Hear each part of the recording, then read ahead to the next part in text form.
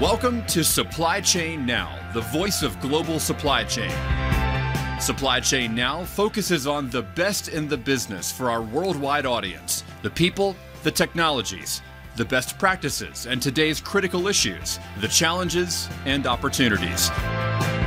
Stay tuned to hear from those making global business happen right here on Supply Chain Now. Hey, good morning, everybody. Scott Luton, Jenny Froome, and Adebayo Adeleke here with you on Supply Chain Now. Welcome to today's show. Uh, Jenny, first, how you doing? Really well, really good. It is so good to see you again. I tell you, we've really uh, we're spiking the football on this incredible series here, and we've got our dear friend Adebayo. Adebayo, how you doing today? Uh, nice. Uh, always eye on life. Uh, nice to, to be here with Scott, Jenny, and our guest. You know, lovely, lovely. I'm with you.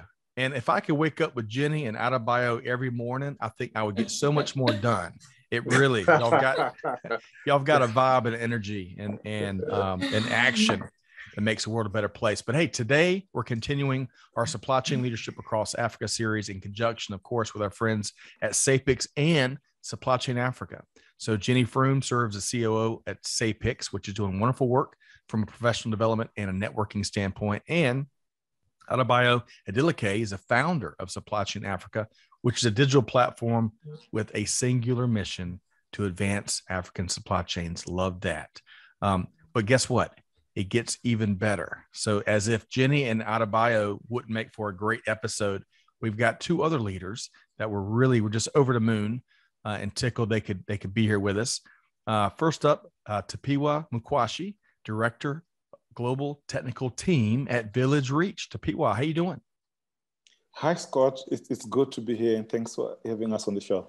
You bet. We got so much to cover. Thanks for taking some time out. And you're joined by a colleague, Tawanga and Kanawiri, uh, global uh, team. Uh, I'm sorry, director uh, and team lead for global supply chain at Village Reach. Tiwonge, how you doing?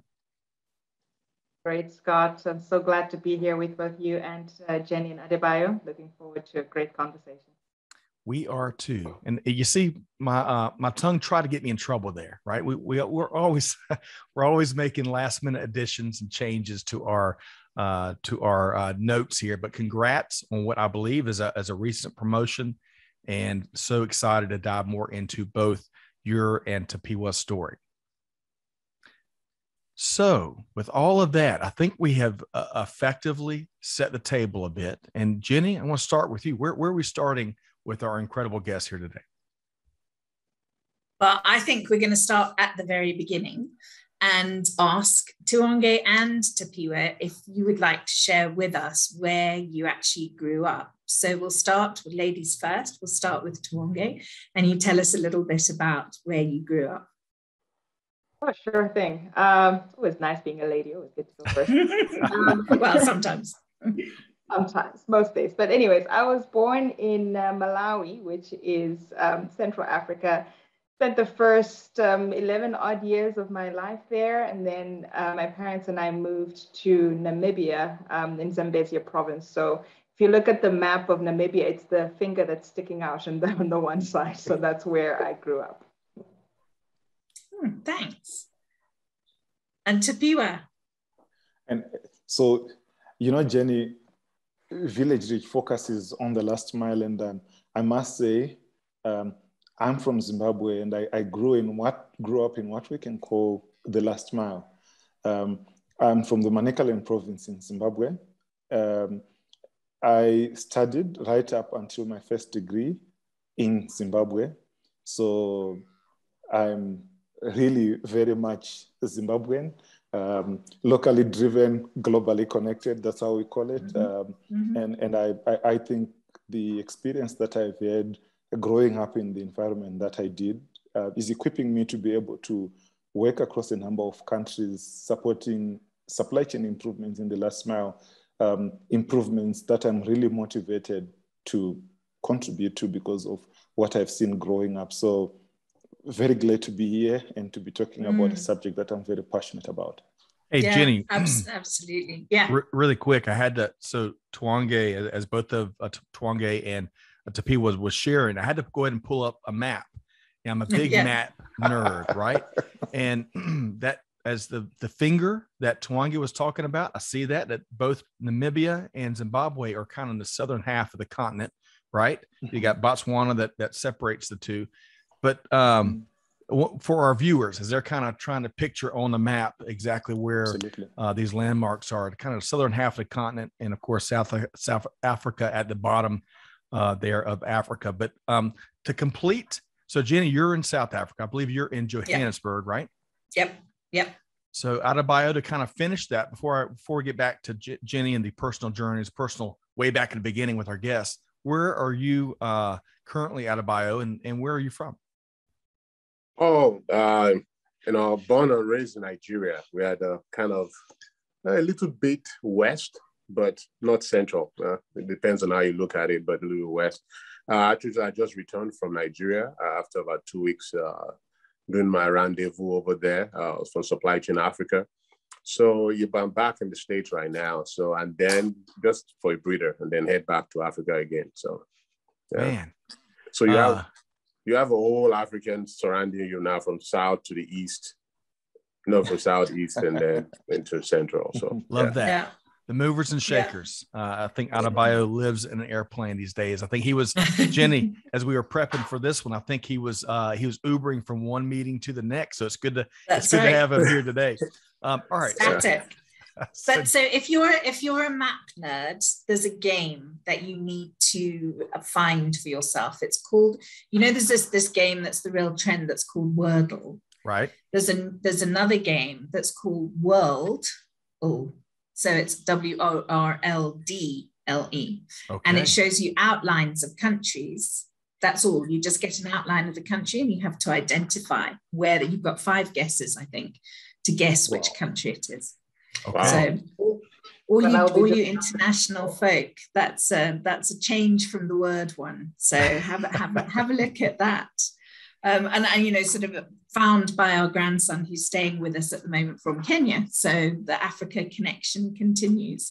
Um, and, and, and talking about young people and, and connections. Um, Tapiwa, have you got a, a, sort of a childhood memory that you want to share with us that sort of was, has stood out for you? Mm-hmm.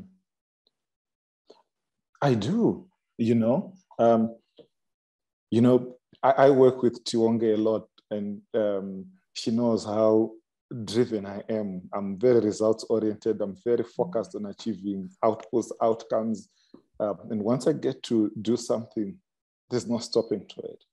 Um, and in my family, we three boys. Um, I learned very early on to survive, um, to demand my space, to you know uh, focus on getting the kind of things I wanted, um, because it is a very competitive environment. So uh, I'm thinking that this childhood I have with three older brothers. I'm the youngest. Um, uh, of course, externally, they would look out for me, uh, but within the home, um, they had to look out for themselves as well. And, and so um, I, I think the kind of drive that I have, um, the competitive nature in me, the go-getter, go-getter nature in me, to some of those childhood um, experience, I, I, I, would say it was a form of in, involuntary learning that's uh, allowed me to survive. Um, yeah. When I think about growing out of Zimbabwe, um, starting to work regionally and internationally, I found the Nigerians very competitive. Oh yeah, um, we are. I, I, found the, the Kenyans very competitive. I found the Ugandans very competitive. Um, I, I, did a part of my study in South Korea. I, I thought the Chinese are driven, like there's no stopping once they start studying. The South Koreans, look at all the innovation they're having. Um, they can literally work 24 seven. Um, I, I think I've been able to cope in a more diverse environment, in a growing environment, um, because growing up, I never knew what giving up meant. And um, I, I've learned a lot. I've used a lot of the lessons learned in my life to to keep fitting into a space, uh, you know, that requires me to work with people from diverse cultures, with diverse work approaches, uh, knowing that we are all pursuing the same thing. We want to achieve good, to do good yeah. in the world. That's fantastic. You know, sibling rivalry, whatever, however you like to call it, um, nurture, fighting, bullying. It's always it, it makes us stronger in the end, it and does. that's a really it great does. example. Uh, you've uh, you've got twins, haven't you, Adebayo? I do, I do, and I watch them daily debates, and uh, I have a liberal-minded daughter, and I have a conservative son. So yeah. it's always a very interesting uh, conversation. But uh, just to uh, for Tapiwa, very interesting actually pointed as the last child. Mostly, I found the middle child being the one that is out there by themselves. Most middle children are always because nobody really care. They only care about the first child and the last child. so most middle children are always like on their own. They'll do all the craziest things. Because most of the people I've met from the big family, I always ask them, "You are the middle child." I say, "Yep," because you, there are certain attributes that who's out of them. You're like, "Oh, this guy's way out there," you know. But it's always the middle children that is always very interesting. But I'm, I'm glad that at least and also, the last child too can be bullied a lot growing up. So they have to kind of fight for their independence. So I mm. see from uh, uh, from Tapiwa's point of view that you know being a being a last child can be very interesting. I'm the second to the last, so I thought I was the last for a while, and then they had my brother, and then so and, and then that took my shine, you know. But uh, for the most yeah. part, it's quite interesting. Adebayo, yeah, go I got to share because uh, uh, I'm similar similar note there. Um, I've got one brother and one sister, but for the longest time it was me and my brother, and then uh, we got surprised with a sister, and and I was moved from the bedroom to they converted our dining room into a bedroom, uh, and that was I'll have to uh, share that story one time. But hey, you know, you never know. You think you're the last person, and we always surprises are nonstop. Is that right? Yeah. Exactly, exactly. When my brother was, who is this kid? who is this kid I was always taking my shine? I think I, I was I was very rebellious because I was like, you know, initially, initially I was happy for him. Then I realized that he started taking all the attention. I was like, wow, yeah. you know, it's not like I'm an attention kind of person, but you know, you always like to be the last person, everybody. But now, you know, but it's very interesting how yes. our formative years kind of shape the way and who we become as an mm-hmm. adult. You know, some of those things, some of those fights that you have to do, and how you kind of make your stand. So I can understand from the people perspective, especially in the African environment where things and you have to pretty much fight for everything. You have to fight for mm. the I mean, the only thing that you can't fight for is your air. I mean, the way things are going these days, becoming the is very it's becoming a rare commodity. But almost everything, I mean, uh, is a challenging environment, the whole continent that yeah. is that we're coming to kind of uh, grapple with. So I completely understand. So trust me, that the Americans, the the the Koreans and the rest of the world has nothing on you because what you've gone through, uh, it's it's a challenge on its own, and I don't think anyone has to contend with that. But it's very interesting. I think, and, I, and to to uh, to to kind of caveat to what uh, Tapiwa said, I think that growing up in an African setting gives you a different flavor and a different perspective, and able to appreciate and be more to be more globally fitted for the role that you might be trusted into uh, down the line. So on that note, and, and getting back to mm. you, Jenny, and and, and I love mm. I love how much we've baked into uh, this front end uh, competition and and and fighting for what you want and and um, you know never stopping. So Jenny, back to you because this is just that's just our first guest. Uh, yeah, yeah. I, I mean, well, I was going to say, looking at Tiwonge's face, I'm putting money on the fact she's a middle child. Am I wrong? I was one of the few that held on to the prize, you know. So I'm the last one, um, unfortunately, and and Scott, who um, got the surprise one. I was the surprise. So, I held on to that space, and uh, I think I was. I I wouldn't say I was spoiled. It's just I've always been given my space. Um, Treasured. So, yeah treasured pushed yes um, and i think you know my my siblings have played a big role in yes we'll kind of let you do your own thing but you must do your thing you have to do something um, you're not just here to laze about uh, which is something that has definitely come into play in in, in my life and, and in the mm. work um, get things done, get things done, whether on my own or as part of a team. Um, and I have that confidence in being able to do that work a lot because of that, that support and the push from, from my family. I think growing up um, with the one memory that um, it's actually a, a, bunch of memories, I think. Um, they all revolve around kind of the walks from school to home. Um, so it's like a big rush, leave school, rush and play along the road, get home, drop off the bags, and just grab food quickly and go back and play. Um, and then, you know, kind of be surprised when it's time to go back home and mom is driving or being driven down to get home and you need to rush and get into the house before. um,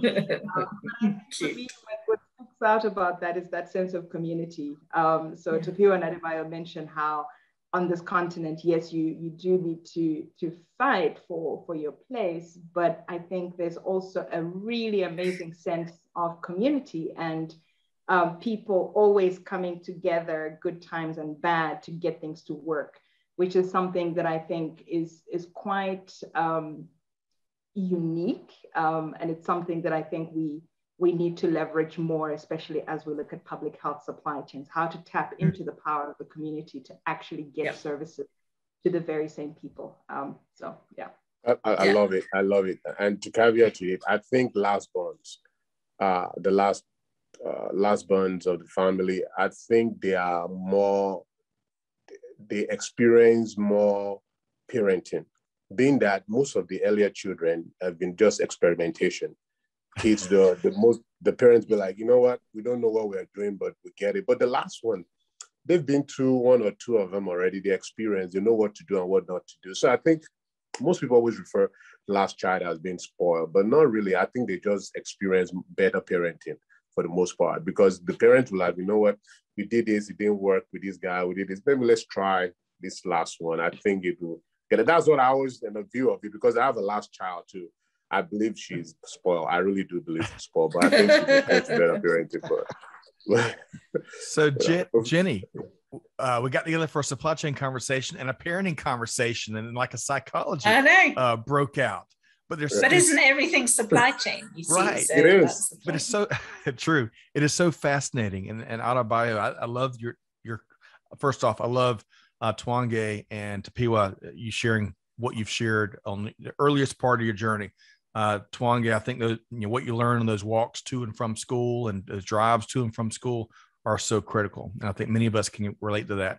Uh, Adebayo, I love how you mentioned parents by the time the third or fourth child may or, or mm-hmm. beyond rolls around, they get they benefit from all the proven parenting mm-hmm. approaches from the experiments. That, that, that's so cool. But Jenny, um, I'd love to, you know, spend a couple hours on this segment, but we want to talk about one of our favorite topics here before we, we bring it, uh, pass baton bio, right? Yeah, yeah, food, food, food, food, and it's that time of day for me where we have to talk food. Um, we, I want to know from from each of you one dish that either evokes childhood memories or is some something that you just is synonymous with home. And that's over to you, Tiwonge. What's your one number one food? Um, it's it's my favorite uh, part of the cow. Um, now, Tiwonge, I think we might have missed. What, we missed that. We missed that. Oh, you didn't get what I said. Oh, tribe. You know the inside. Tribe. Oh, tribe. Yeah. Wow. Yeah. Wow. We might have some things in common. no, happy memories. Um, my dad would always make sure that he has some in the fridge when I was coming back from boarding school of varsity. So happy memories with tripe. Amazing. Well, I got I got a quick follow up there because yeah. um, when I've consumed tripe, it was in uh, Vietnamese uh, uh, Vietnamese uh, uh, Vietnamese pho right? Pho, the, the bowl of soup yeah, is one of the yeah. common common dishes I've had with tripe. What's what's one of your favorite dishes that tripe goes into Tiwonge? Um, so we normally just cook it. Um, just try. Just try. Well, you eat it with, um, you know, you'd have like vegetables and and sima, which is what it's called in Malawi. So it's a meal uh, porridge, not soft porridge, but a hard one. Adebayo, I think in Nigeria it's is it fufu or something like yes, that. Yes, fufu, vegetables. I didn't even get it in pepper soup. Mm. Not so much pepper soup, soup in Malawi, but definitely the sadza in Zimbabwe, the tripe, and the vegetables it's the perfect trio. Yeah. It's also, I mean, it was very popular in, in the UK in the sort of the 60s. I remember my grandmother used to love tripe. So it's uh, it's definitely something that's gone out of fashion oh, yeah. in in in England. I so know you, that. You're saying, Jenny, it's a universal uh, uh, bridge food to bring us all together around tripe. Mm. You, you never know. maybe. Maybe so. Um, could catch on. Everyone listening here may think, "Oh, I'll go try it." We've started a whole new craze. Right. Uh, to, Tapiwa. So you know, I, am hearing the conversation on tripe, and I'm thinking like, okay, I like tripe. Um, you know, it's the kind of food that when you get an acquired taste, you you just can't stop. It's with age you start to love it more but growing up.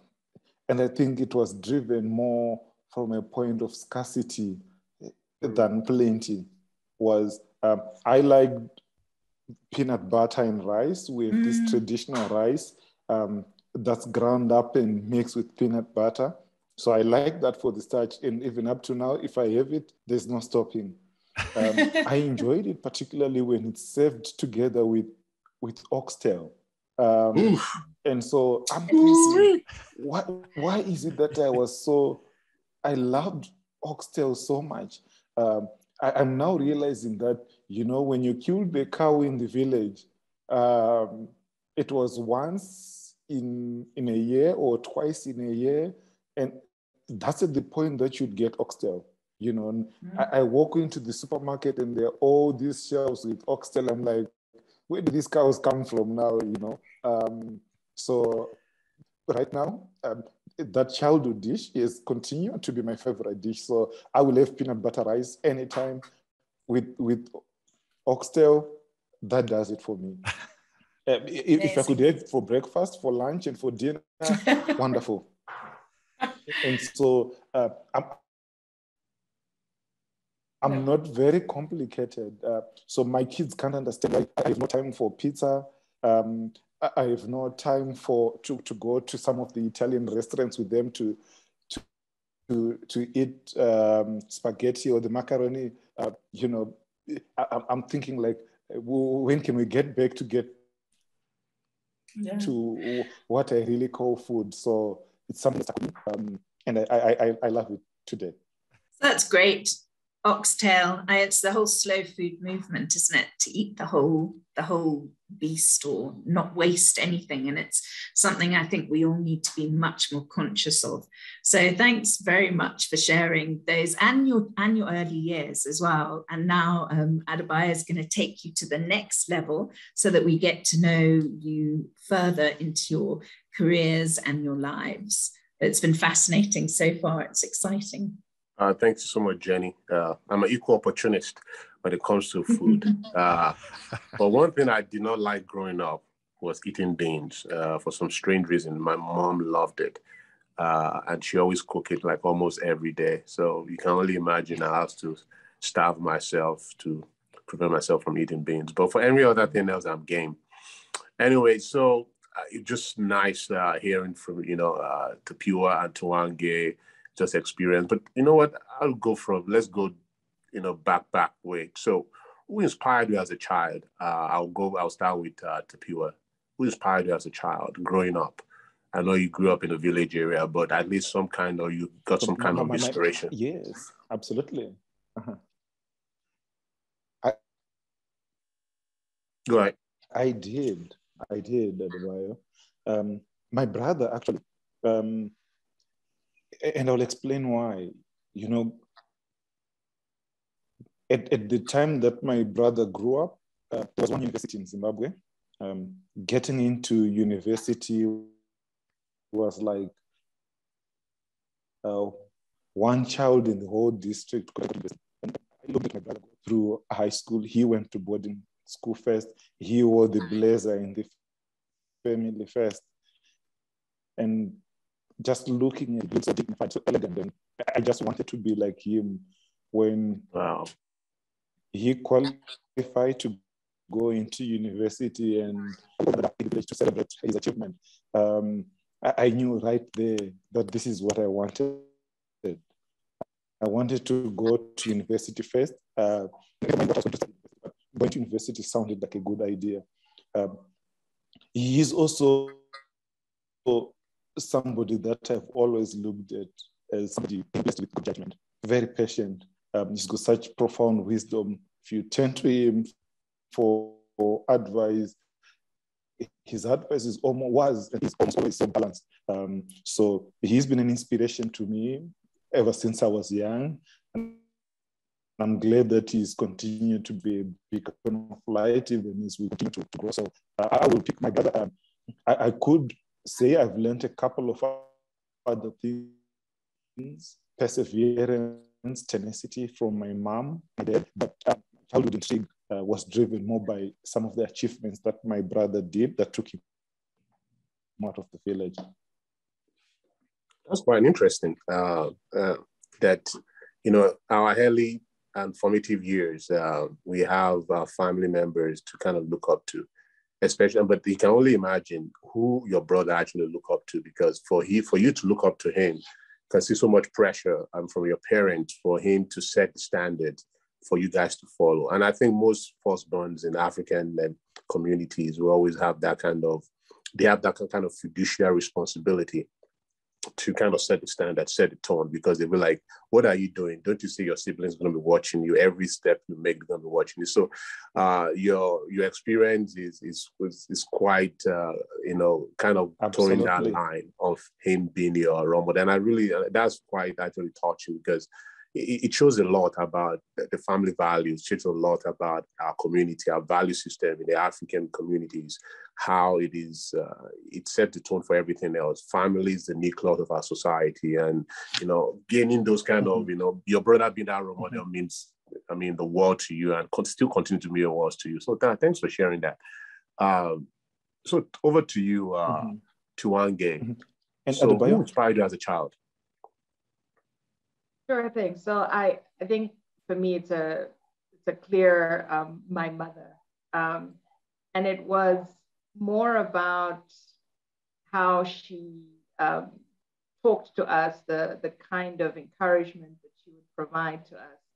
Um, she's pushed all of us um, to work hard, do um, as much as we can, give whatever we're doing our best.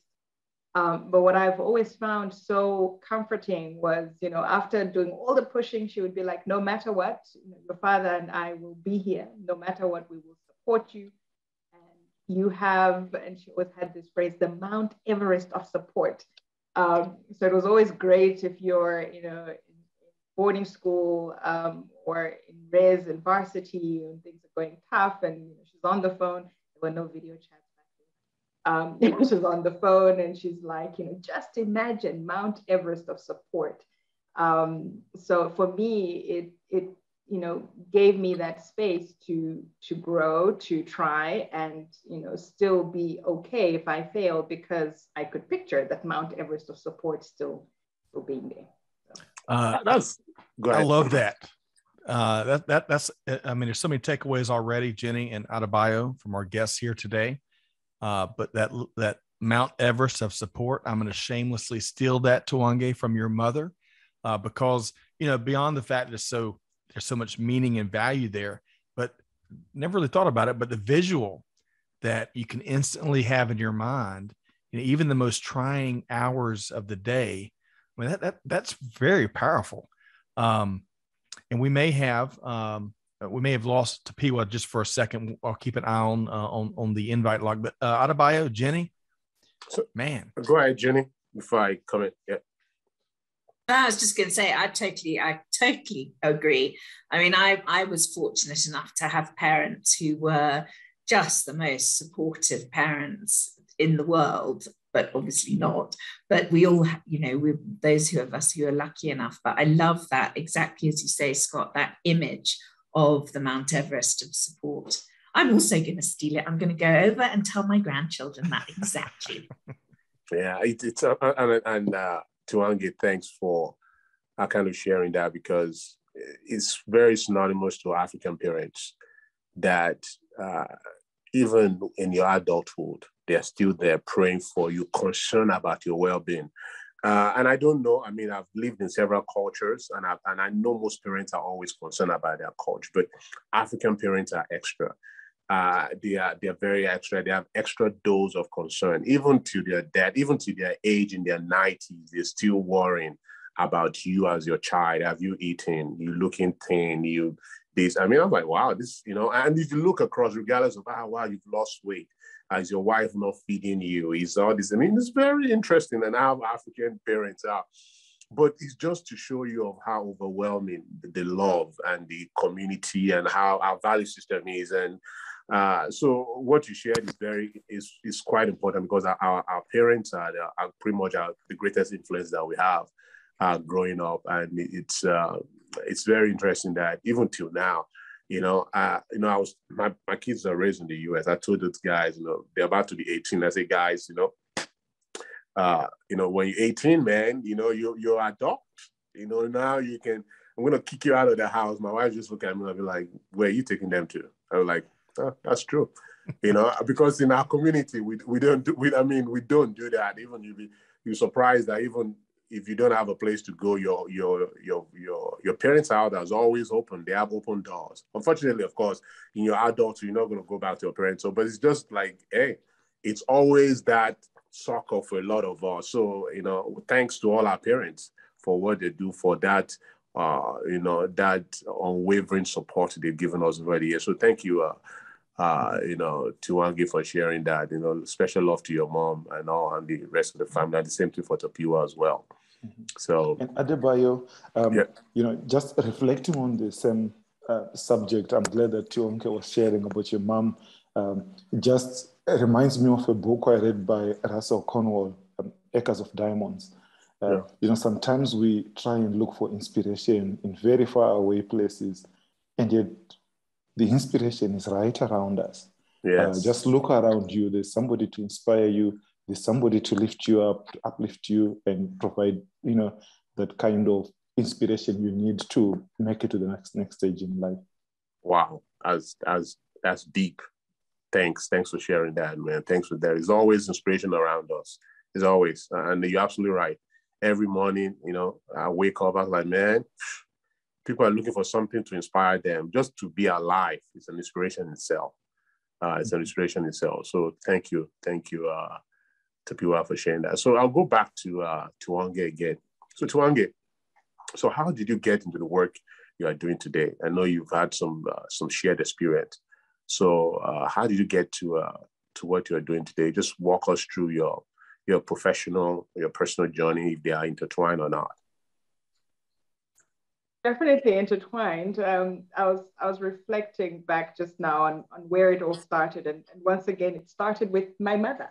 Uh, you know, um, I, I, think as as children and girls especially, there's always that time when you butt heads with with your mother, um, and we definitely had a butting of head moment when, uh, when I was choosing what to go study varsity. I wanted to go dentistry and law, and I wanted to apply everywhere for that.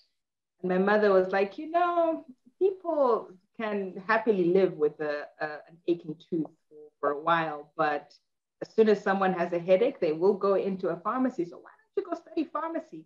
Um, so I agreed to apply to one place for a pharmacy degree, and lo and behold, that's the one that I got accepted for first. And yeah, I did my pharmacy um, undergraduate degree at Rhodes University in the Eastern Cape, beautiful Eastern Cape in South Africa.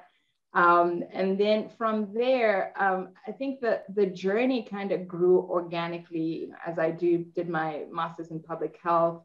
Um, I I started to to better understand um, some of the tools and and things that are out there that can help address some of the challenges that I grew up seeing. So I grew up seeing relatives, you know, spending time in hospitals, coming back. Um, in, in, in more, um, more times than one, not having received the medicine that they needed or being told, oh, I only came back with Panadol, which is paracetamol for, for a lot of, for some who might not know, even if, you know, their condition required a lot more. So I only came back with Panadol and I was asked to go and buy um, medicine either at the pharmacy or somewhere else. And in most cases, these were people that did not have money to pay for that medication.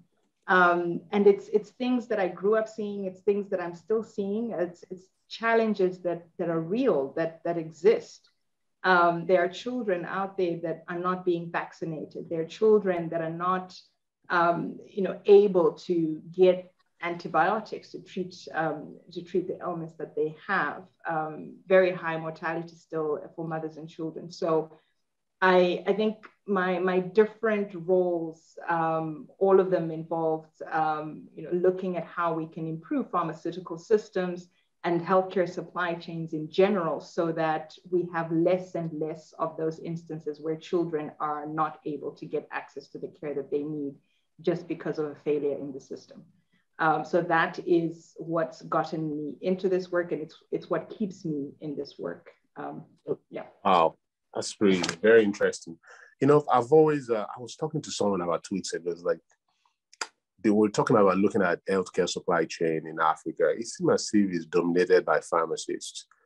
I was like, hmm, interesting. And to be honest, I can count about 20 on top of my head right now that are pharmacists, and you just uh, put a icing on the cake. But it makes sense. It does make sense of why pharmacists are quite concerned about the the chain of custody of uh, drug supplies to move from point of you know point A to point B. So I, I get it. And actually, who's best to actually uh, understand that, make sure the drugs are done, and you know not being adulterated along the line. So it's absolutely, actually, there's some crazy ideas that I'm just going through my head as you're talking about how drugs uh, and supply chain of drugs across the continent. It just it just it's a flash of new idea right now. You know, I don't know. Um, after this podcast, I'm going to kind of let it marinate. But thank you for sharing that. Thank you. Thank you. Uh, so, uh, wow, it's, it's very interesting. Wow, it's very interesting. You have it. We have we have to add one more thing. Um, yeah, I, you know, I was just thinking as you were talking about pharmacists um, in public health supply chains. We've had long debates with colleagues and, and a few others um, about the role that pharmacists play versus uh, supply chains specialists, supply chain professionals.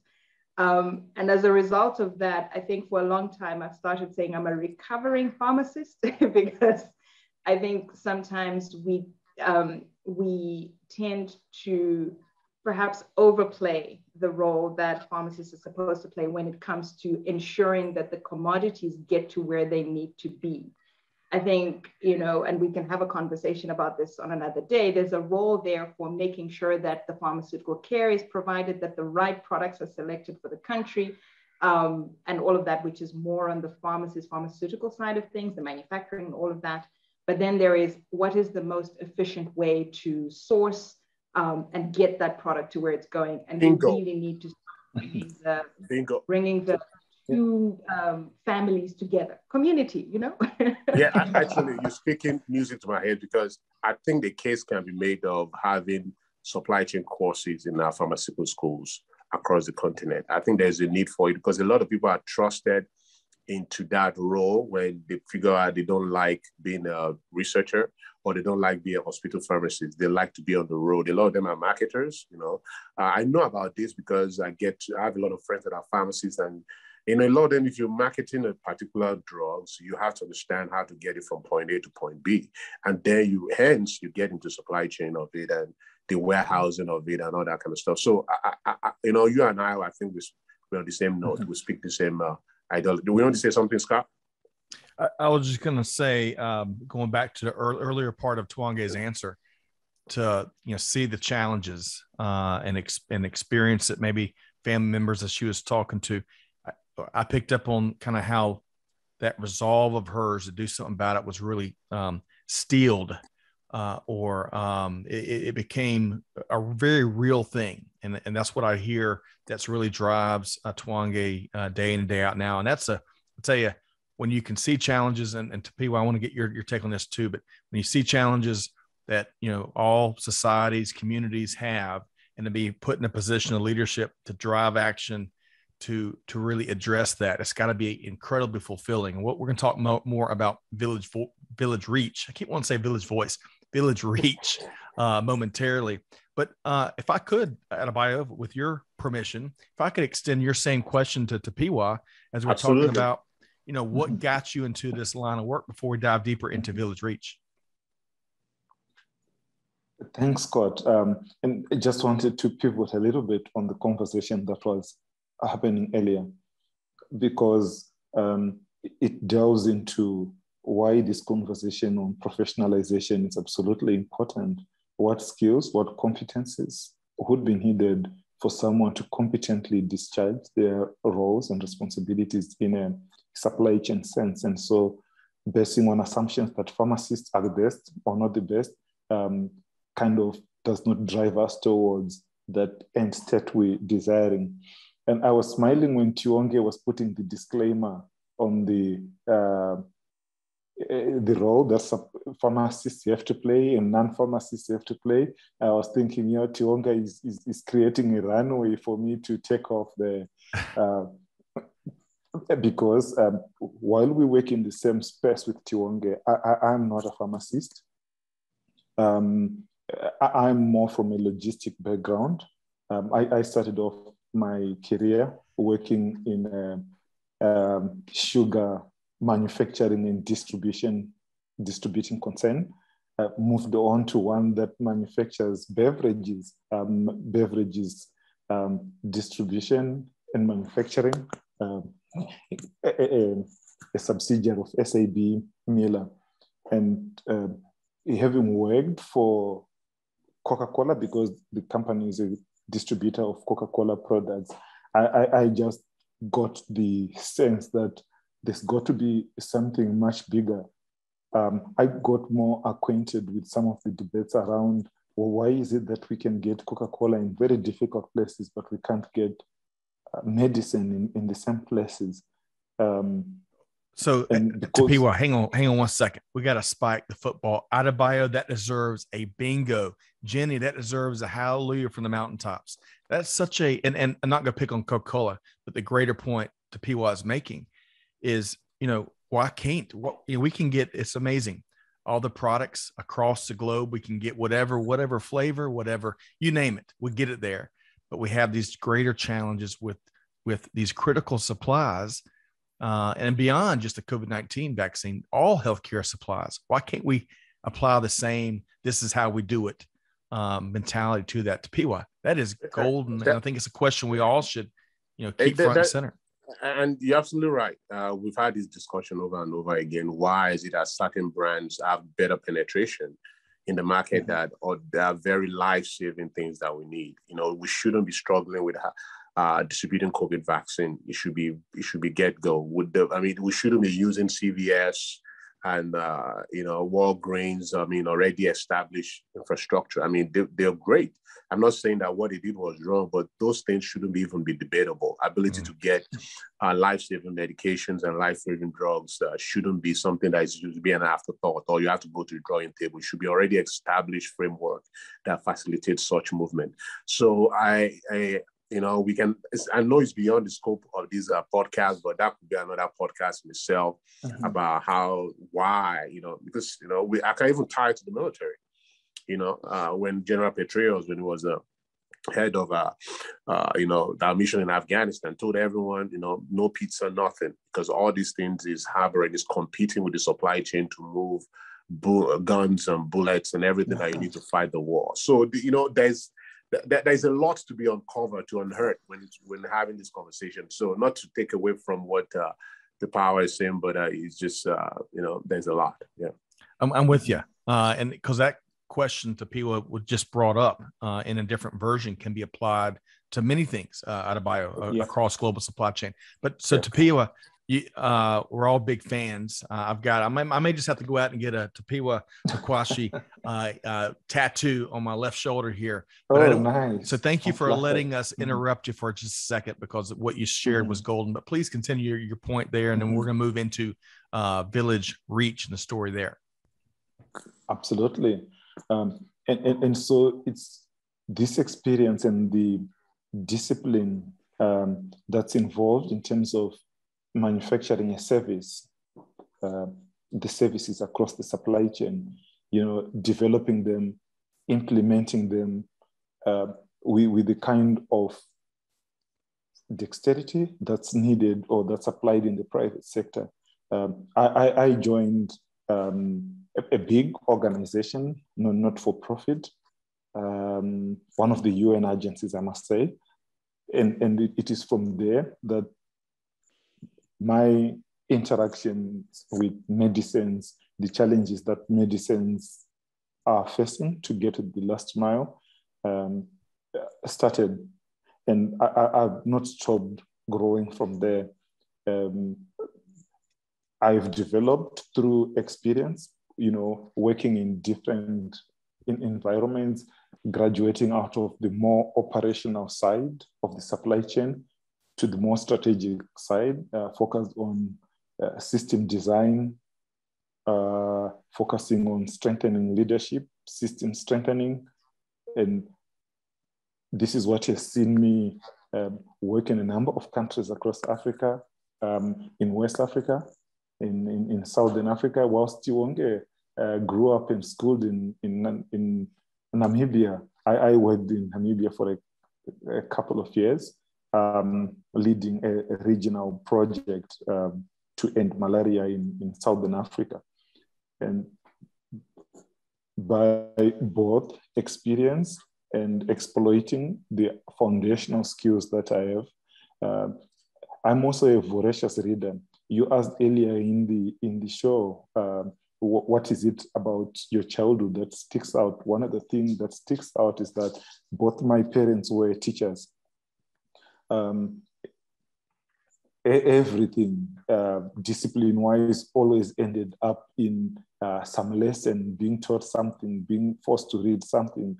Uh, I developed a, a, voracious appetite for reading at, at that early stage. Um, and I figured, okay, if I have a master's degree, am I going to get another master's degree to understand another subject? Three master's degrees, four master's degrees? Absolutely not. I'm not. Uh, I'm going to engage in continuous professional development uh, to acquire the skills that make me more effective at, at work. Uh, and so my appetite for reading, my appetite for knowledge acquisition, yes, continue to refine how I cross learn, learn things from new industries and apply them in the work that I do on a daily basis. So um, I've moved from the private sector to the not-for-profit sector, work very closely with governments, and I think I'm in a good space to, uh, you know, trigger transformation. And to and to create an impact, uh, absolutely. And and Tapiwa, we need more folks with you and Tiwonge's uh, background not just in global supply chain, but global business and, and global leadership. So thank you for sharing. I, I want to move right along. Um, it, it's amazing the, just what I've learned thanks to Adebayo and Jenny uh, about the work that VillageReach is doing. And, and y'all clearly have lots of fans across the globe, but I want to give you all a chance. And Tiwonge, I want to pose this to you first, and then we'll, we'll circle back to, uh, to Piwa. Uh, but tell us, if you would, in a nutshell, uh, about the work that VillageReach uh, is doing, right? And where it's doing it. So Tiwonge, let's start there. Sure. Um, you know, as you were asking that question, I was, I was reflecting on, on that saying that, you know, birds of a feather tend to together um, and listening to the comments that Tapiwa has been making, um, it's resonating. I'm not too surprised. We both ended up at VillageReach, which is essentially um, um, a team of very dedicated, very passionate people for working to transform health services for everyone. We want to get to a time where everyone that needs healthcare, particularly primary healthcare, um, gets that services regardless of who they are or where they are. And we do that um, focusing on two main pillars. The first one is tech-enabled pathways to primary healthcare. So looking at using um, a technology, modern technology to better deliver primary health services to those mothers, women, uh, children, uh, men in, in the most remote last mile um, areas, but not just looking at it geographically, but those that are being underserved even in urban areas. So things like our health center by phone technology, where people can call in, get information about um, health services available to them, how to manage certain ailments, is something that has proven very uh, pivotal actually during the, the, later. So that's the first pillar. The second pillar is products to people. Um, so it's about how to change the way in which a lot of health systems are traditionally set up um, in sub-Saharan Africa, where the onus is on the patient to walk sometimes very long distances to get to clinics to access health commodities. So we want to change that to a point where we are using everything that's available to us, whether it be drones, whether it be community healthcare workers, to get the products to where those people are. So in a nutshell, that's that's what we do. I appreciate that. And and my assumption, and Tapiwa, I'd love for you to weigh in here. My assumption is if we can make it easier for folks in need to acquire these supplies, um, the more supplies that they'll, you know, do, do you, do y'all, Tapiwa, do y'all see where uh, if, if it's too challenging for folks to get to where they can get the supplies, maybe they don't even try to do it? Is that what y'all see, Tapiwa? Absolutely. Uh, you know, you're speaking the language that we love to hear. Uh, we describe that we want to make supply chains more people centered. Um, they must deliver services to people anytime, anywhere, where they want, uh, at the time that they want it, as conveniently as possible. Um, and, and this is a major shift from what we are seeing today. Um, what we have seen in a lot of places is that the responsible authorities deliver medicines to convenient places. Um, you know, a focus on health facilities as being the last mile people have got to travel 30 kilometers, 20 kilometers to get to that health facility. Is that convenient? Is that the last mile? Is that where people want to receive their services? Is that how people want to receive their services? And so at Village, we challenge some of those assumptions and we ask, what is it that we need to do in the system to get products and services to where the people are? Um, and this is us execute a number of interventions, uh, innovative in their own way, um, some traditional, but ones that bring products to where people are rather than people moving to where the products are. Okay. Thank you. see, I'm, I'm, I'm typing along.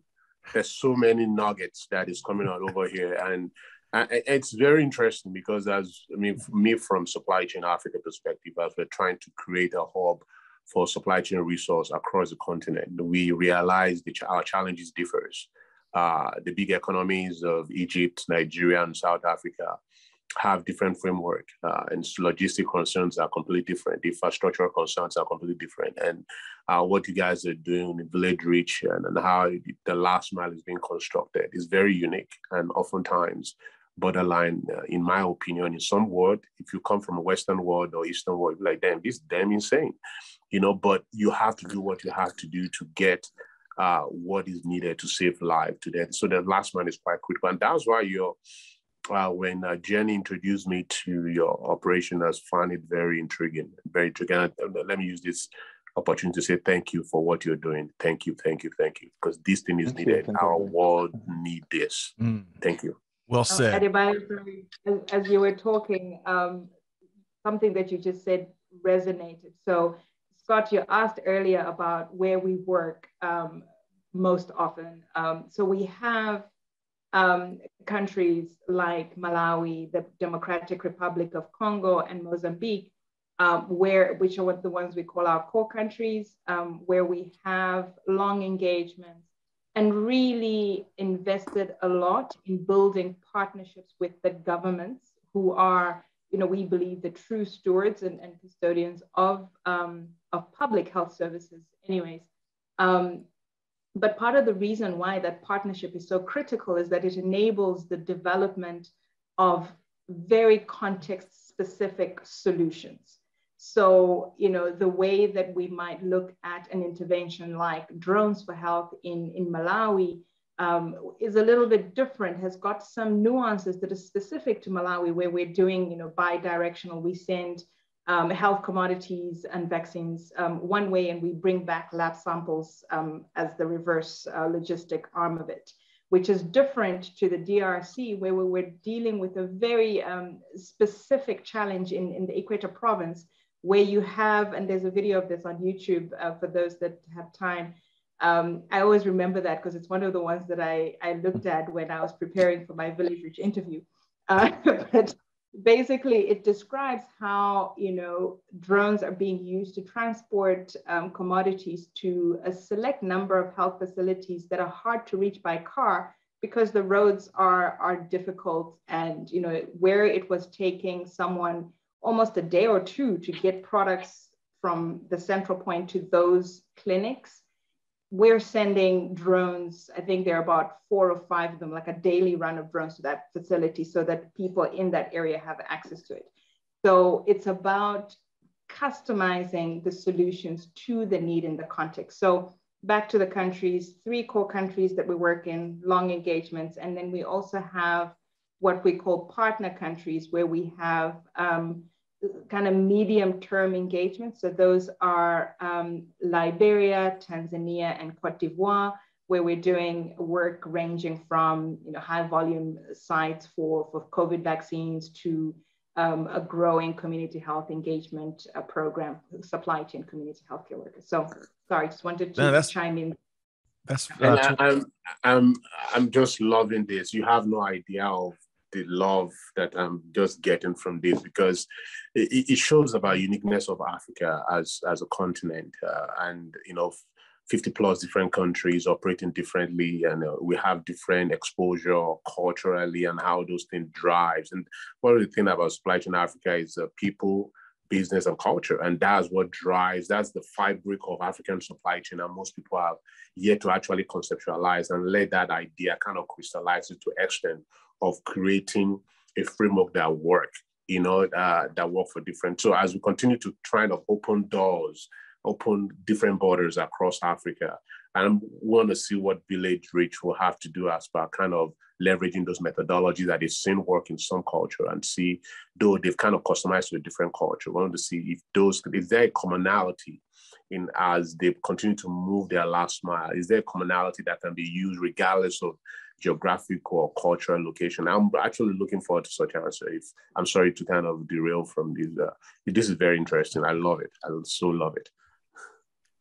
So why don't we? Uh, so if I can't, let's circle back to Adebayo's question. There, we're going to get into uh, more supply chain observations from both Tapiwa and Tiwonge in a second, including we're going to touch more on the professionalization opportunity of supply chain management, in particular in public health. But before we do, if I can move us along, because I want to get Jenny back in. Jenny, Jenny's been observing. Uh, Jenny, I want to get to. Why don't you ask about the big news with one MacKenzie Scott, and then also move into you know some of these supply chain issues that that both of our guests have been observing in, the last couple of years. Jenny. Yeah, so so thank you very much. I mean, I'm I'm more than happy just to sit and listen to this because this is this is not my job is done because there's still so much more to do, but to connect and to thank Scott again and again and again for giving us all this sort of forum for us to be able to come together to understand what each other is trying to do. Because you know I'm, i am a great believer in collaboration and that together everyone achieves more. So here we go.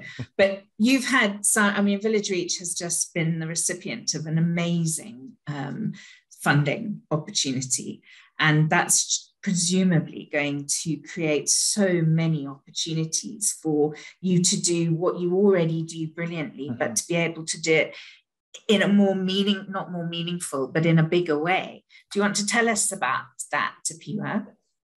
Sure, Jenny. Um, you know, this has been a very generous gift. Um, came as a surprise. Very welcome, nevertheless. Um, we're looking at this gift as a vote of confidence in the work that VillageReach, the people in VillageReach before us and, and present have been doing. Um, from the time we were a small organization um, supporting vaccine delivery and transforming the vaccine supply chain in Mozambique, uh, growing to over um, 12 countries that we are working in, in presently. And, and so um, we, we have a, a five-year strategy that we are implementing. Um, this generous gift allows us to invest in some of the program priorities um, that will lead to the micro shifts and the macro shifts to improve how healthcare services uh, get to people. Um, as an organization, as staff, of course, we uh, going to the draw boards, um, looking at our strategy, updating our strategy, uh, reflecting on what's going to be most impactful uh, with this generous gift. Um, I must say we're thankful to MacKenzie Scott uh, for this generous gift, and we hope through it we will be able to reach more people. Last year, um, our impact was we were able through our interventions to reach 58 million people. Um, and I'm looking uh, 58 million people. I don't know how many families that will be. I don't know uh, how many lives saved that will be. Yeah. But in the geographies that we work, uh, people's lives are needlessly lost. A high temperature yeah. that goes uncontrolled, um, a vaccine that is of poor quality making its way into the arms of patients and not doing the job that it must. And so um, we're really reflecting on this investment as another added possibility for us to be able to, to save just one more life and make a difference in the lives of families in Africa. Uh, and it's yeah. and, it, and it's so so so well so well invested i think. I mean i was i re- was reflecting on the statistics that you shared with with our student audience um, last year with what you moved from a ppe perspective. Tiwonge, do you want to share some of the not to put you on the spot to come up with numbers but i they were staggering and the speed with which you had to do it because of the pandemic you know, um, I'm sure you saw the smile on my face when you were saying that. I think that's been one of the, the biggest highlights for me um, in this work. So, um, you know, you, basically when when the pandemic kicked off, um, um, Emily Bancroft, our our president, together with um, other organizations like Direct Relief, working through the community Health Impact Coalition got together and said, you know, something needs to be done. There was an assessment done that basically said, in order to protect community healthcare workers, and these are, you know, people that are part of the communities in the most rural parts of, of the continent. They're serving over a million um, families. Um, we need about 400 million pieces of PPE to, to protect these people every year so that they can continue going into people's homes, delivering medicine, uh, doing prevention, messaging, and all of those things. So they got together and um, through some catalytic funding from Direct Relief, a big thank you to them, um, you know, and, and additional um, generous gifts that were provided by several other donors. Um, there was, and, and, the numbers have improved, uh, Jenny. So we're now sitting at a total of $21.5 million that was raised and we managed to move and deliver 121 million pieces of PPE for community healthcare workers in the space of about a year. Um, and we have seen how, you know, just by making that PPE available, we have contributed to people continuing to access health services because there was a lot of fear for people to go to clinics. Oh no, I might get infected. Um, but if a, a CHW is coming to my home, then at least I can continue to get that care. So it's been a highlight for me, um, and it's been quite a, an honor um, to be able to contribute to that. Mm, fantastic, absolutely amazing. Wow. I think it was 90. The, the number was 90 million, I think, when we last spoke. So that's a huge 90.3 or something like that. So it's a huge, huge increase yes, and, a huge, and a huge difference. No, it is a, it, it's really been massive. And you know, to put it in context, that pretty much provides PPE for about a little over 400,000 CHWs to be able to work for six to, to 12 months, depending on their context. So fabulous. Love that. Um, well, let's keep going down that vein a little bit further, uh, Jenny, because um, we're talking about supply chain issues over the last couple of years, right? Yep. Yep. So what? So so let's let's obviously, um, Tiwonge, you've shared what's been a real positive from, from your perspective in the last two years since the pandemic started. Tapiwa, obviously, that's going to be a similar. I mean, how do you top that? but but from a from a, a I don't know something maybe less dramatic what's been something that's really stood out for you and i only want positive we need positivity what's been a really positive thing that stood out for you that VillageReach has been involved in during the pandemic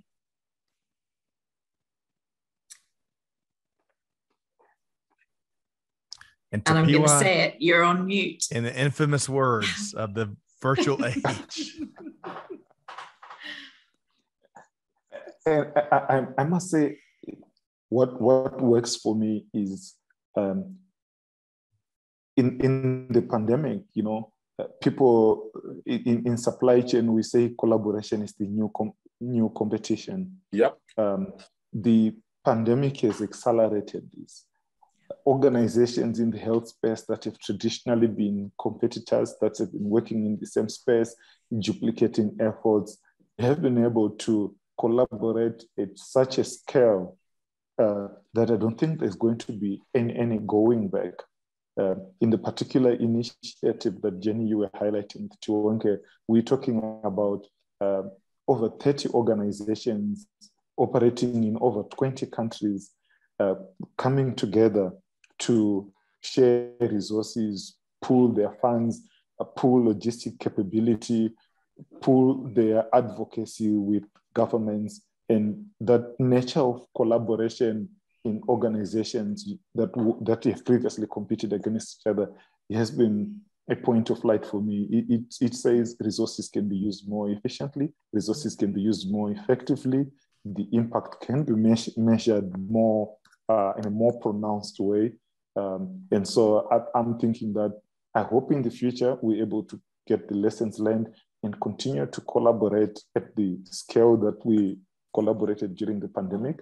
In that way, aid resources will be used more efficiently. Mm. I'm really, I'm so, really looking forward to this conversation with Tiwonge. Uh, she has agreed. Uh, let me to thank Tiwonge and uh, VillageReach to uh, interview on our maiden edition of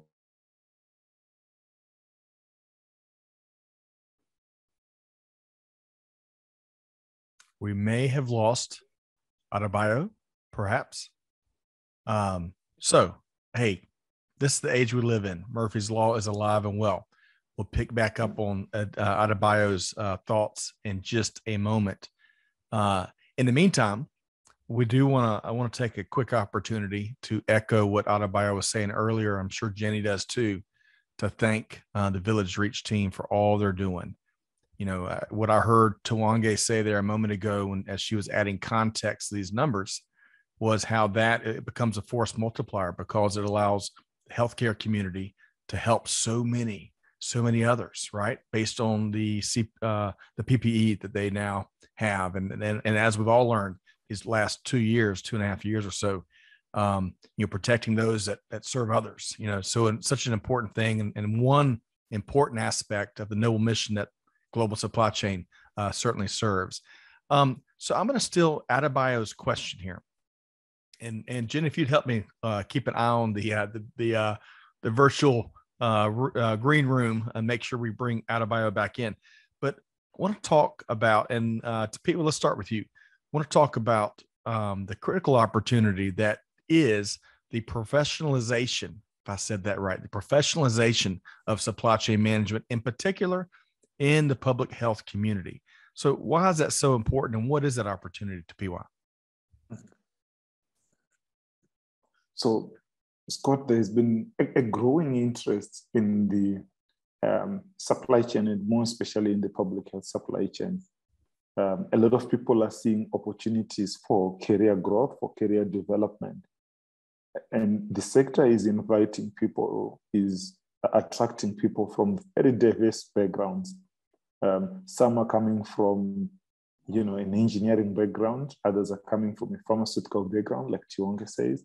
Um, others are coming from a business background, like me. We have many that are also coming from a social science um, background.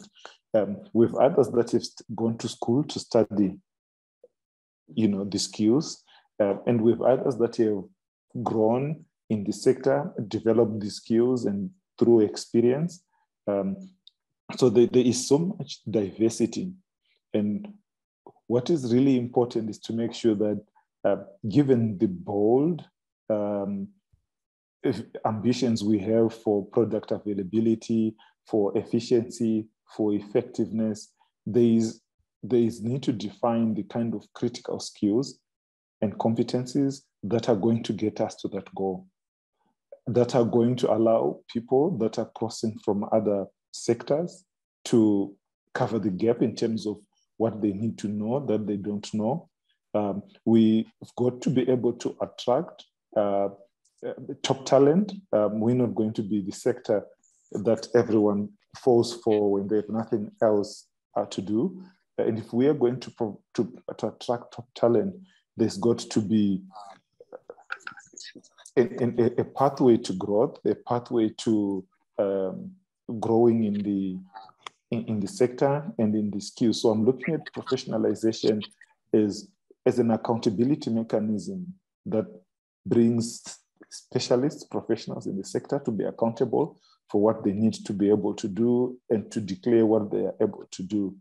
Um, it's also a mechanism through which we can uh, foster um, skills transfer, skills growth, uh, because if we have a, a, profession that's clearly distinct, that's being taught in certain formal institutions, uh, these people that can be identified, that can, uh, like the process we are going through, transfer the skills to the young professionals. Um, and I look at professionalization as a path to, you know, being a recognized sector like the pharmacists, like the doctors, like the engineers, uh, in a way that standardizes the skills and competencies that people ought to have in the sector. Mm. Uh, wow. So, Adebayo, welcome back. Uh, we uh, we just had Tapiwa's answer on your question of the the importance uh, of professionalization. Uh, why don't we do this? Let me have Tiwonge weigh in, and then Adebayo, based on what you hear heard, I know you're passionate about this as well. I'd love to get your take uh, on their responses here, and then we'll pick back up there. So, Tiwonge, same question. The, pro- the professionalization of supply chain management, in particular in the public health community. Tell us about the opportunity and why it's so important. I think you know what uh, what Tapiwa has just mentioned there is is really key. You know, finding um, providing a bit more clarity on the skills, the competencies, um, and making sure that those are communicated in a way that the people, both the ones that are already in the system, understand and can relate to, and can see a pathway um, not only to, you know, perhaps growing towards certain levels of ability, but also in being able to think through how best to engage, how best to collaborate with those individuals that are either within the system or those that are coming into the system um, to, to be able to participate. So, you know, I, I think back to the COVID pandemic. It's, it's really been um,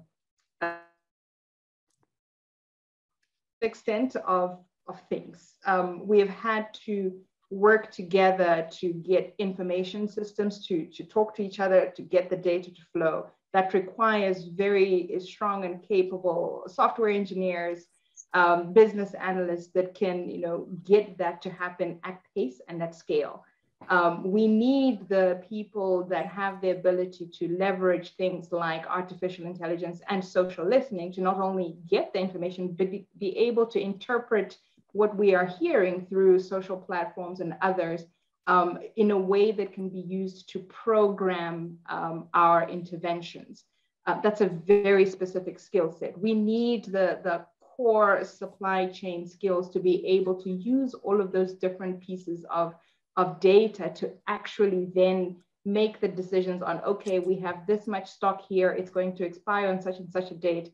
Where do we prioritize sending it? How do we prioritize targeting it through the areas where we're getting the messages? So I think having that clarity on the mix of skills that are needed, um, being able to clarify what that core skill set is, at least from a supply chain perspective, is, is something that will not only help clarify the career journeys for a lot of people, but I think it will also just enable the collaboration uh, conversation. So there's a lot of work that we're doing um, with organizations like the IAPHL, and I'm going to put Jenny on the spot just now for what that acronym stands for, um, and uh, people that deliver as well. Um, but well, she, she's part of the team, I think, on that one. Um, yeah. So it's really about there is a whole body of work that is being done to clarify those things, to provide the frameworks, to provide the, the norms um, and we really need to be pushing um, the, the agenda in institutionalizing that in the countries, in,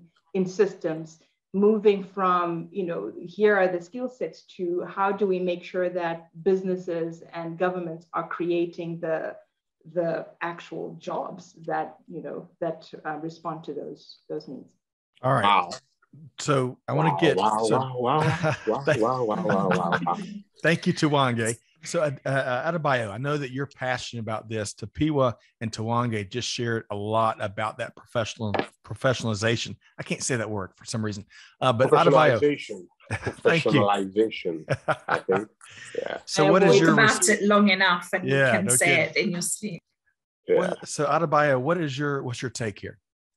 Uh, my take is everything they've said is quite encompassing and you know the reason, and I always point out the reason why supply chain Africa, and I share this thing uh, intimately with uh, with Jenny. The reason why supply chain Africa is why we kind of started this own initiative to be the ultimate resource for supply chain across the continent. Is we understand where Africa is and where Africa is going.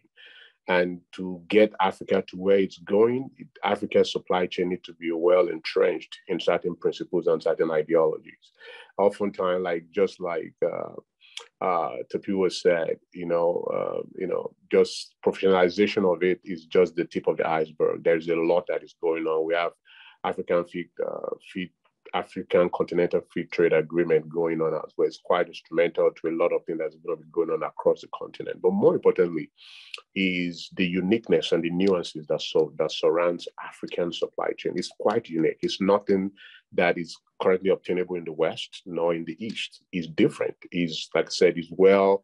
There's cultural flavor to it. There's people flavor to it, and oftentimes how we move things in Africa you in the United States and the Europes and uh, Asia would never understand it or will ever even conceptualize it. Uh, it's just a way of getting things from point A to point B. And one is quite unique. And we shy away from this uniqueness. We think it doesn't fit the narrative that's being pushed out there. But what we are saying is we need to embrace this uniqueness and nuances as our way forward because this is how we're going to get to where we need to be. With oftentimes, most of all these uh, you know, and, and to speak to the education and professionalization aspect of it is the fact that all these things has to be documented, has to be curated. What is necessary to move supply chain in the Western world and where they have robust and developed infrastructure is currently different from what is obtainable in Africa. So we, the skill set is going to be different. Uh, the the knowledge attributes that you need to carry on your your functions as supply chain professional is going to be completely different. So we're trying to bring that for, uh, you know, we have to also make sure that supply chains are well respected. Everyone in Africa does supply. Now, mothers are probably the most logistically inclined individuals I've met, you know, but all these skill sets are out there. Like uh, said, Africa is a mecca of data at the moment, and nobody is earning or understanding it. So all these things are the prime, and I mean, they're not that they're prime yet, but it's it's it's ready to be activated. And we need supply chain professionals to be able to make sense of these and be able to position themselves and posture Africa for business. So uh, what uh, Tapiwa and Tiwonge said is just a part of it. This thing is a whole robust thing that needs to happen, that needs to engine. There is a part of the engine that needs to propel Africa forward. So we're looking for collaboration. We're looking for people with thought leadership to be able to contribute to this endeavor. I am sold on this. I'm so even I'm, I'm moving all my family from US and I'm moving back to Africa. I said, you know what, we're gonna do this. I don't think I hope my wife's not listening to this podcast. what are you talking about? What are you talking about? Well, so I'm so passionate about it. So I'm so I'm so happy that, that Tapiwa and is, is, is very is very refreshing that what we are thinking on this side others are thinking on the other part of the continent, they also think that is the best. So if everyone, professionals, are thinking about this, Jenny and the folks are thinking about this across the continent, it, it, it's showing that the time is right. The time is right to make this thing happen. And we are here to make time, it happen. The time is right. The time is now. So, um, for the sake of time, uh, I want to start to bring this to close. We'll have to have y'all back. There's so much to the VillageReach story. There's so much to, uh, as Adebayo was saying, uh, the uniqueness of uh, the supply chain community across the continent, uh, all the different flavors and vibes. I love that uh, Adebayo. Um, but let's make sure folks know how to connect with uh, both Tapiwa and Tiwonge with VillageReach. Let's start there. Uh, Tapiwa, how can folks connect with you and VillageReach? We right there. We're using new media. We're using social media. Um, I'm very active on LinkedIn. So just look for me on LinkedIn. The name is Tapiwa Mukwashi. Uh, look for VillageReach on LinkedIn as well. Um, we also trading is VillageReach on our Twitter handle. We on Facebook. Uh, on email, um, you can get me on tapiwa.mukwashi at villagereach.org. So uh, let's just that easy. through it. It's just that easy. It's just that easy. Uh, and clearly uh, big noble mission. Folks y'all check that out. We're gonna we're gonna try that try to make that as easy as possible for both Tapiwa and Tiwonge to list that one click away in the episode page. Uh Tiwonge same question. Uh how can folks connect with you um and what you're doing? Everything to Tapiwa said and tiwonge.mkandawire at villagereach.org wonderful. So um yeah well, so quick question. Quick question. Uh, is LinkedIn when, when it comes to your, um, you know, how you comment and engage across social? Is LinkedIn your y'all? You're both uh, your channel, uh, your preferred channel, Tiwonge. For me, yes. Uh, my preferred channel is definitely LinkedIn. So on there, you'll be able to, um, you know, catch, you know, kind of keep up with um, what I'm involved in, what a lot of um, my team is involved in um, and you know the cross linkages to what the broader VillageReach team is doing. So LinkedIn and definitely Twitter um, is, a good go-to. Um, but we recently launched our new website. It looks quite nice, if I may say so. Uh, so please uh, go to villagereach.org to uh, just get a little bit more about um, the organization. Love that villagereach.org. Listeners, y'all check that out. Be sure, be sure to connect with Tapiwa and Tiwonge uh, on LinkedIn and beyond. And Tapiwa, LinkedIn's good for you as well, right? Fantastic. All right. Link, LinkedIn is the best connection. Wonderful. Um, folks, you know, we say this often, uh, Jenny and Adebayo, we're just not even barely scratching the surface to what uh, leaders uh, like our guests here are doing. Of course, their organization and gosh, with um, the generosity of, of, folks globally, including MacKenzie Scott, I love how they're going to be able to take that and, and go bigger, help more, move, you know, move mountains really. Um, so, but out Adebayo, uh, as we start to, to uh, kind of wind things down, I want to get your favorite thing you heard from our panel here today. And then of course, of course, we want to know how to connect with all the cool things you're doing. Awesome. The coolest thing I've heard uh, today is about, first, actually, I had two coolest things. Uh, one from uh, POI is about the institutionalization uh, of supply chain knowledge in Africa, institu- institutionalization of it, which is bringing all this knowledge together and let's make it something that we can start practicing. Uh, great. We have certain things that I've always, there's science and art to supply chain. Science is universal. Heart, the heart part of supply chain is not universal it is very, very local. And uh, having to, you know, people in the same geographical space as in Africa, we need to start looking at common grounds. What works in Malawi? Can this thing actually works in Congo? Can it work in Nigeria? You know, you'd be surprised what can be done. Uh, so I, I love that concept. And also from uh, Tiwonge, uh, the, the, the Mount Everest of support. I think that kind of resonate across the board. And as a parent as well, you know, kind of, am I giving my kids the Mount Everest of support? Maybe I'm giving them King Kilimanjaro. I don't know, but you know, I'm trying to see. Uh, but but it, it resonates well with me. So thank you, and please follow us on Supply Chain Africa and Adebayo Adeleke LLC uh, what we are doing in Nigeria, in Rwanda, in other parts of the country. And now follow us on that as we, you know, pushing towards the maiden edition of it. And thank you to Wange for volunteering to uh, to be one of our interviewers on our first edition. Uh, and VillageReach is going to be front and center on what they've done during COVID. It's, it's, it's, it's very, it's a healthcare kind of meeting edition about Africa. And thank you, Jenny, supply, you know, SAPICS and, you know, African Supply Chain Excellence Award, all the things that we guys, you know what, we hold a depth of gratitude. So thank you. And of course, Scott, supply chain now. You guys are the awesome. You guys are the original bam bam jiggy jiggy. You know, so thank you. you know. Well, I appreciate uh, again. It's about deeds, not words, and this panel here, and they live it out every day. Uh, so thank you for those thoughts, Adebayo. Uh, we're, we're kindred spirits, especially on the uh, Mount Everest of support. They'll forever stay with us. Uh, Jenny, man, there's too much to get to here uh, uh, in this episode. But Jenny, what's one thing that sticks out? And of course, how can folks connect with you and SAPICS? I, I, think that in a nutshell, there's a lot that, that melded together. And I think that it all comes back to inspirational community and what we get from our community. You know, everybody said amazing things, but it's also a situation that if we continue to work in our silos and in isolation and we don't communicate, then we will never be able to make the supply chain profession a profession because we're all doing similar things. But up until recently, nobody really knew what everyone was doing. So, communication, community, all of which will ultimately end up being inspirational. So, I think that, that that's how I would sum up the discussion.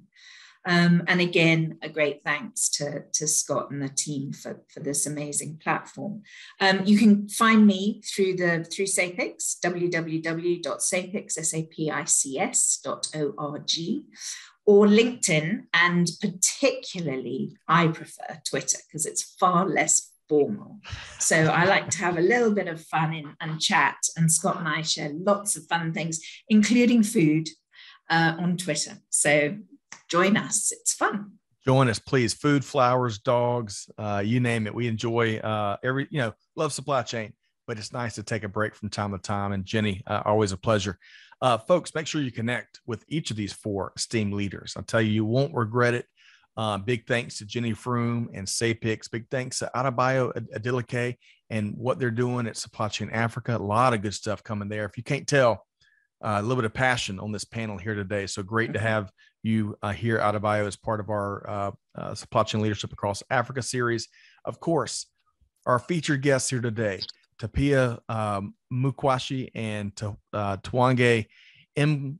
Um, M. Kanawere. M. Kanawere. I think my apologies. It's so important to get names right. You know, I, I think I tell the story. My last name uh, to many looks like Lutton, but it's Luton, like Luton, England. And the first day of school with reliability, every single time the teacher would get that wrong. And it, it never feels good. So, but hey, Tapiwa and Tiwonge, most importantly, um, love what you are doing. Uh, congratulations on really the impact that that your professional journeys are having, your teams, um, the, the village reach organization. And, you know, we loved, you know, speaking for our supply chain now team here, perhaps for Jenny and Adebayo, when great things happen to great people that are doing great things in the industry, that is truly uh, the best news we can all celebrate. So uh, we look forward to reconnecting with y'all again soon. Big thanks, folks. Make sure you check out villagereach.org. And to all of our listeners out there, on behalf of our entire Supply Chain Now team, hey, be like this panel here. Goodness gracious. Uh, do good, give forward, and be the change that's needed. On that note, we'll see you next time right back here at Supply Chain Now. Thanks, everybody. Thanks for being a part of our Supply Chain Now community. Check out all of our programming at supplychainnow.com and make sure you subscribe to Supply Chain Now anywhere you listen to podcasts. And follow us on Facebook, LinkedIn, Twitter, and Instagram. See you next time on Supply Chain Now.